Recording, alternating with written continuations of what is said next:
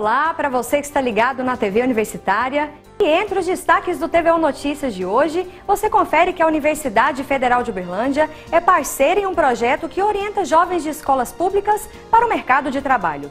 Tem ainda as informações sobre a campanha de vacinação contra a raiva animal em Uberlândia. E as três novas exposições que estão abertas no Museu Universitário. Tudo isso e muito mais a partir de agora.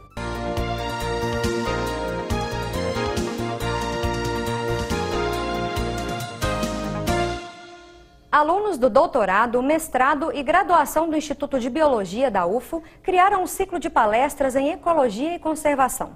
O objetivo é divulgar teorias gerais e mecanismos biológicos de profissionais destas e de áreas afins. Os convidados são profissionais e professores de renome nacional e internacional. As palestras são gratuitas e acontecem semanalmente, sempre às segundas-feiras, no horário das 13 às 14 horas, no auditório do Bloco 4K, no campus Umuarama e não é necessário fazer inscrição prévia. Para saber da programação completa, acesse a página Econufo no Facebook. E agora uma boa notícia para professores da UFO. Estão abertas as inscrições para a quarta turma do curso de docência universitária. E sobre este assunto, a repórter que traz mais informações é a Gislene Rodrigues. Olá, Daniela. O curso vai ser dividido em 10 módulos e quem deseja se inscrever tem até o dia 26 de agosto para participar. Eu converso agora com a diretora de ensino da UFO, Giovana Mello, que traz mais informações. Giovana, conta para nós primeiro o que é esse curso voltado para os docentes. Esse curso é uma oportunidade que a Pró-Reitoria de Graduação apresenta não é, à comunidade de professores da UFO, é, tendo como objetivo o aprimoramento das práticas pedagógicas, criar um espaço para trocas de experiências entre os docentes. Então, nós já estamos na quarta edição e o curso tem sido muito bem avaliado. Aqueles professores que já participaram acabam divulgando e é, convidando os colegas para participarem, porque se constitui realmente um momento muito rico de formação para os professores. E dentro dessas aulas que são quinzenais e noturnas, o que, que os professores podem aprender? Nós organizamos todo o conteúdo em 10 módulos, então o professor terá a oportunidade de aprender sobre o que é ser professor, como ele se constitui do ponto de vista da sua identidade profissional, o planejamento, nós vamos ter uma oficina de planejamento, então os professores levarão seus planos de ensino para serem discutidos, né, para que ele possa compreender quais os elementos. É, trabalharemos também aspectos da avaliação da aprendizagem, quais são as abordagens, as concepções. Faremos também uma oficina de elaboração de provas. Em dois dias de abertura das inscrições, para Uberlândia, né, a, na modalidade presencial, já está esgotado. Mas nós temos a oportunidade ainda para os campos fora de sede, porque o curso também será feito por videoconferência. Então, os professores não é, de Patos de Minas, Monte Carmelo e o Campus Pontal ainda têm oportunidade de se inscreverem.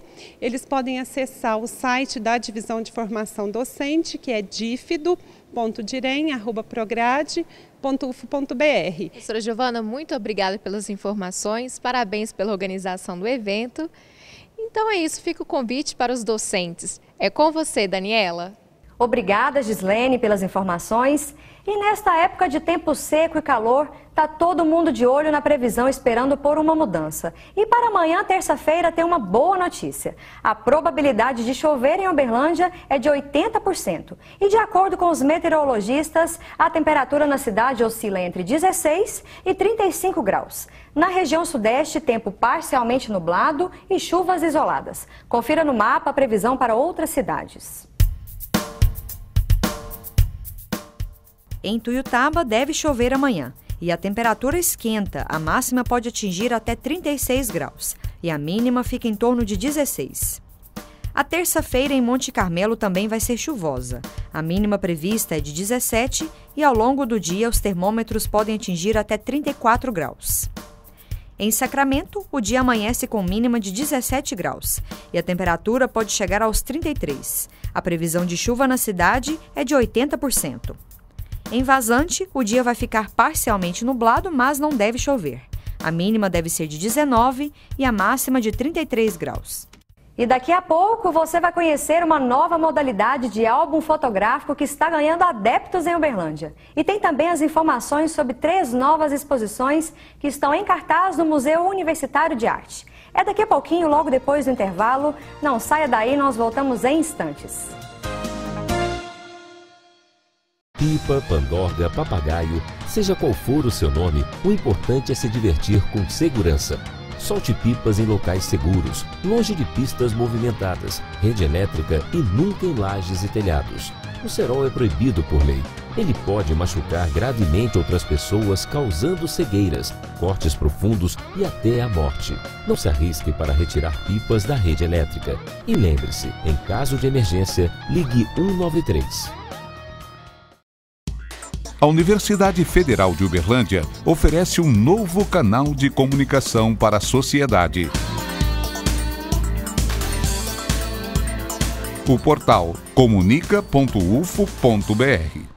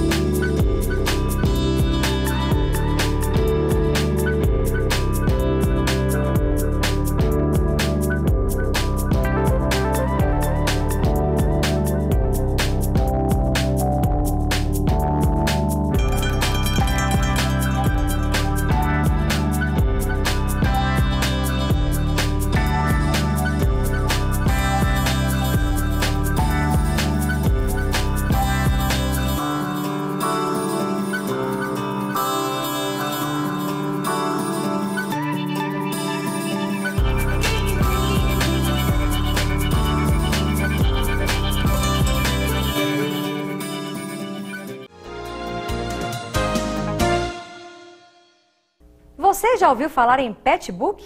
Tirar fotografias de cachorros virou tendência e em Uberlândia essa moda já está ganhando adeptos.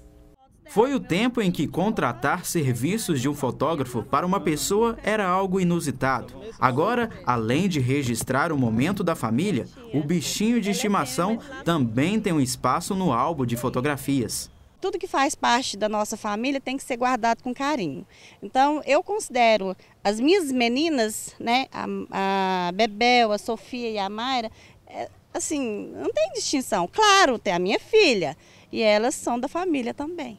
Silvana pagou o serviço de fotografia outras vezes. Inclusive, a filha Mayra foi a modelo Mirim junto com os animais de estimação. Para ela, todas as fotos são as prediletas todas que eu gostei. Esse é o trabalho que o Fabrício vem desenvolvendo há 12 meses. E a tendência, que é conhecida como Pet Book, vem atraindo mais pessoas a cada dia que querem registrar um momento com um animal de estimação.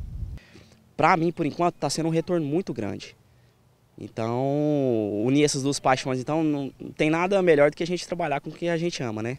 No tempo de profissão, Fabrício já teve algumas experiências engraçadas que fazem parte da rotina do fotógrafo.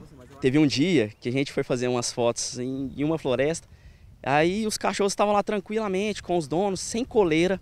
Aí de repente, esses cachorros arrumaram a carreira, saiu correndo e foi todo mundo foi correndo atrás, foi os donos, o pessoal que estava assistindo, até eu, o fotógrafo, fui junto. Então, assim, foi uma história bem bacana. A gente custou pegar eles. Maria Eduarda é adestradora de cães. Ela conheceu o trabalho do fotógrafo e logo quis fazer um pet book com a cadelinha Amora. Eu conheci ele é, a, encontrando ele com a cachorra dele no condomínio onde ele mora e eu amava a raça dela, fui atrás, comecei a conversar com ele, descobri que era fotógrafo e aí surgiu tudo.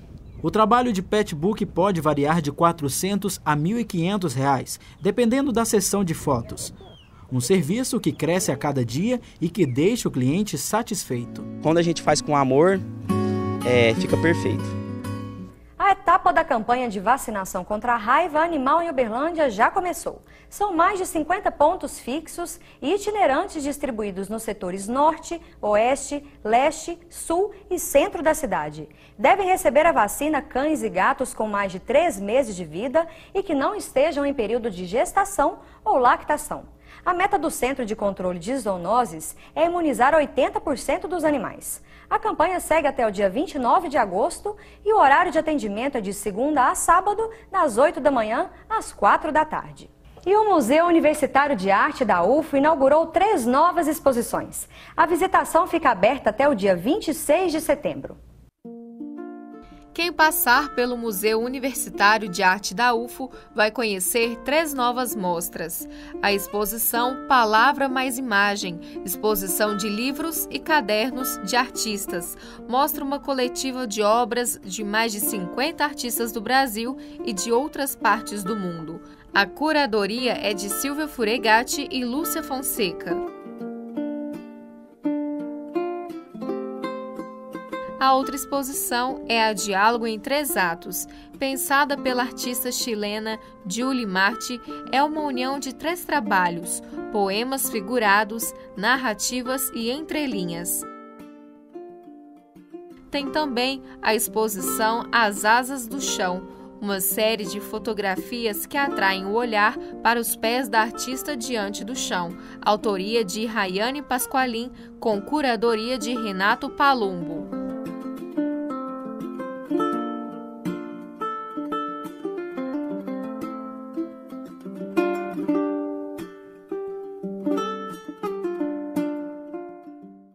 Lembrando que o MUNA fica aberto de segunda a quinta-feira, das 8h30 da manhã até as 6h30 da tarde. Na sexta-feira, o funcionamento é das 8h30 da manhã às 9h30 da noite. No sábado, o funcionamento é das 10 da manhã às 5 da tarde e a entrada é gratuita.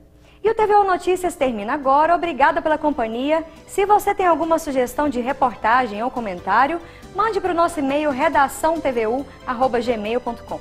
Uma boa noite para você e até amanhã.